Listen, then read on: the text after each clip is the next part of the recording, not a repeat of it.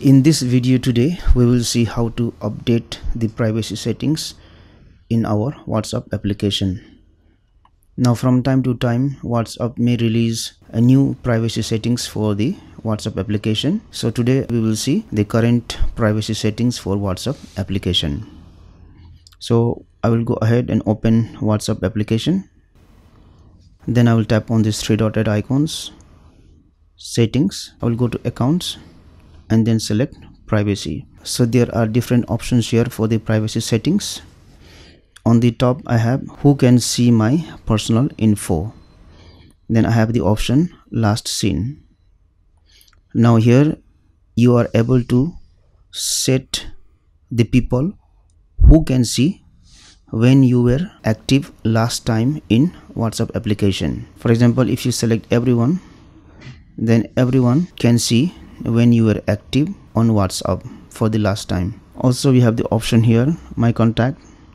That means only the contact which are there in your whatsapp will be able to see when you were active last time. Then there is an option nobody. That means no one will be able to see when you were active last time. So if you select your nobody even the contacts which are saved in your whatsapp application for those contacts also you won't be able to see when they were active last time. Now let's go to the another one profile photo. Here also you have the options to select everyone my contact or nobody.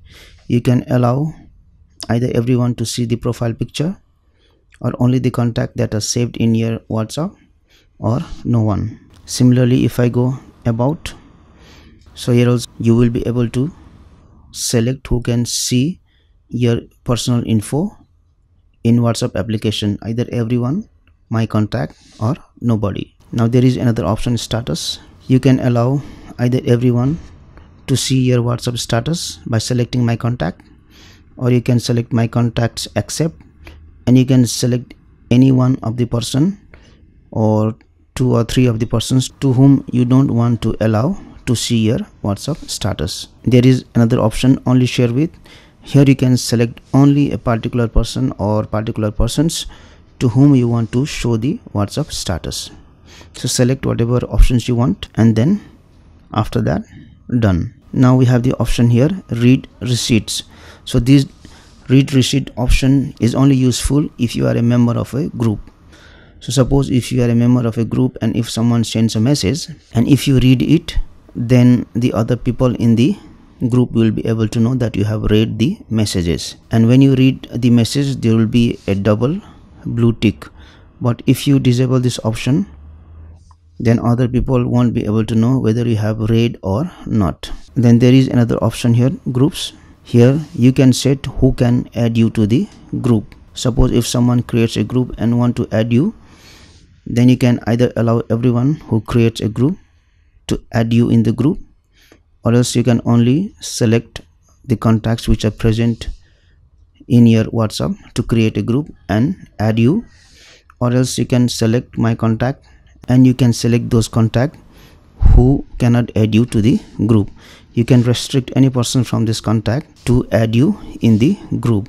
So after you do these settings select done. Then we have your option live location. So with this live location you will be able to send your live location in whatsapp to any contact. Then we have the option here blocked contact.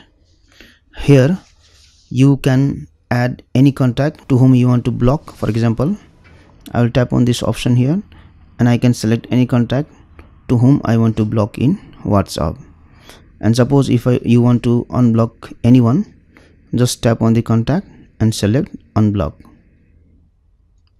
So with this blocked contacts you are able to either block someone in whatsapp or unblock them.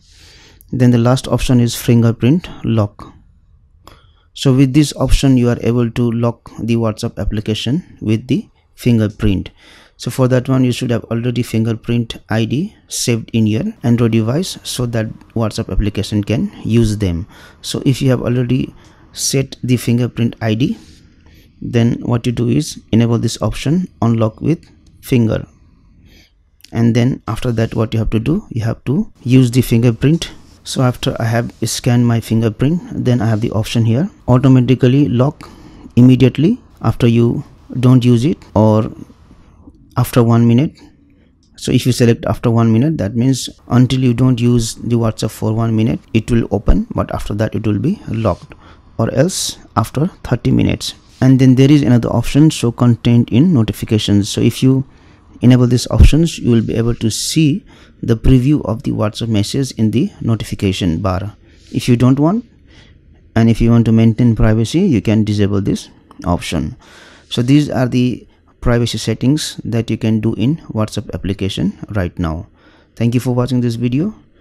Please like and share this video if you found it helpful. Also click on the subscribe button and hit on the bell icon to get the notification of our latest videos for free